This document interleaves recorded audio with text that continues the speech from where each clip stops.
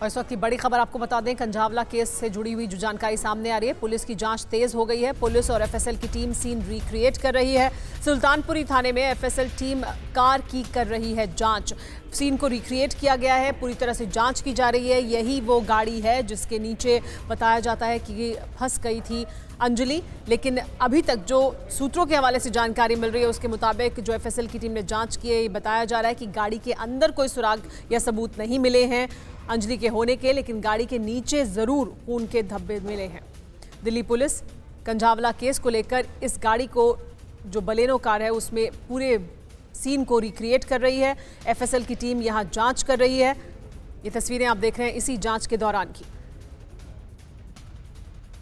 Kanjhawala case में police की जाँच तेज़ी से आगे बढ़ रही है। हर एंगल पर जाँच की जा रही है। अब एफएसएल की टीम इस कार को लेकर भी हर एंगल से जाँच की जाएगी और सबूत जुटा ये बहुत ही कम निवेश पर पैकर्स एंड मूवर्स बिज़नेस शुरू करके महीने का पाँच लाख कमाते हैं। इनसे सीखना है तो फ्रीडम ऐप को अभी डाउनलोड कीजिए। जाएँगे। हमारे साथ रजनीश रंजन जुड़ गए और ज़्यादा जानकारी के लिए टीवी नाइन भारतवर्ष संवाददाता।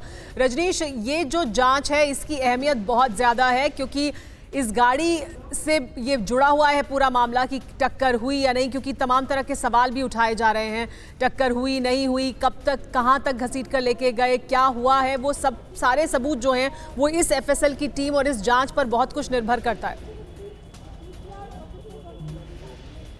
बिल्कुल देखिए, जब भी इस तरह की दुर्घटना होते हैं, इस तरह का एक्सीडेंट होता है तो फॉरेंसिक एविडेंस उसके लिए बहुत ज़्यादा ज़रूरी होती है। और एक तारीख को जब ये घटना हुई है, उसके बाद से हमने देखा है, लगातार एफएसएल की टीम सुल्तानपुरी थाने पहुँची है और ये गाड़ी जो सामने खड़ी है उसका इंस्पेक्शन कर रही है। पिछले 40 मिनट से एफएसएल के लोग यहाँ पर आए हैं और दिल्ली पुलिस के साथ मिलकर हर पहलू पर इसकी जाँच की जा रही है। खासतौर पर जो लेफ़्ट साइड का जो अगला पहिया है, जिसमें पीड़िता के फंसने की बात सामने आई थी और उसी में उसका पैर फंसा और लगभग 12 किलोमीटर उसको घसीटा गया। तो अब रिक्रिएट यहाँ पर किया गया है एफएसएल की टीम के साथ और ये जानने की कोशिश की गई है कि जब ये घटना हुई तो उस वक्त क्या कुछ हुआ होगा? क्या ये संभव है कि किसी एक गाड़ी के पहिए में पूरा शरीर फंस जाए और 10-12 किलोमीटर तक गाड़ी चलाने वाले को इसका अंदाज़ा ना हो? तो ये तमाम तरह की चीज़ें हैं जो बहुत ज़्यादा रिसर्च और अनुसंधान की ज़रूरत है और यही वजह है कि एफएसएल की टीम लगातार इंस्पेक्ट कर रही है